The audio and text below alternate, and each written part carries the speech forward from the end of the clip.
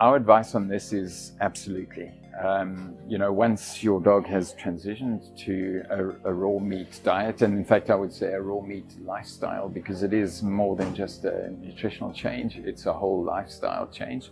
But once they have been transitioned to the raw food way, if I can put it like that, um, the key, the key nutritional thing is once you've locked in the fact that your, your dog's on the right kind of diet, uh, that it's from an evolutionary perspective been designed to eat, and you've started to notice the benefits.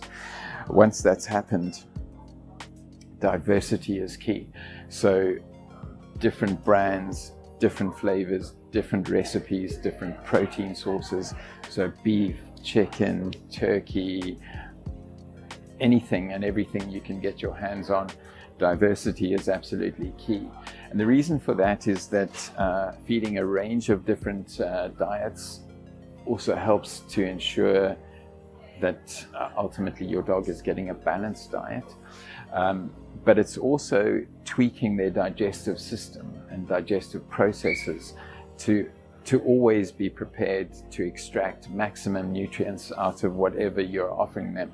If you think of dogs in the natural state and cats in the natural state, they do eat a variety of different different prey, um, depending on the season, depending on where in the world they happen to find themselves, um, and whatever's available at the time.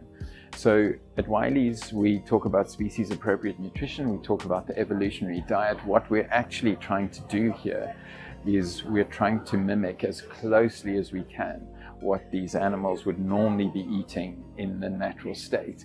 So everything you see here is obviously packaged, processed, raw dog food and cat food.